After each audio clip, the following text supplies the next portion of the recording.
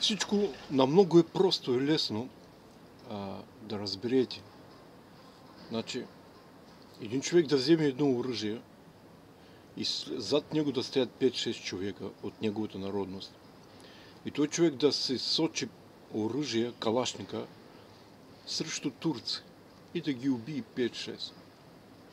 Умишлено убийство. А по време на боя, те, които зад него 5-6 българина, от тях трима да е умряли. Защото турците също стрелят. И той Христо Ботев, дето убивал турци и после го убиха, мисличи, че е отишъл в, в рая. Но той е отишъл в осъждение вечно. Той не можал да се покая дори. Умишлено убийство Бог така просто не прощал. И той се срещна с турците във Вада. Са там ще прекарат милиарди години по милиарди. Христо Ботев не бил християнин. И това толкова лесно да го размишлява един човек да помисли.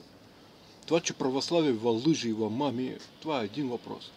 А това, че ти не искаш да се замислиш, да се покажеш за своите грехове и да четеш Евангелие, Библия и да разсъждаваш, да мислиш как мислил Христос, Син Божий.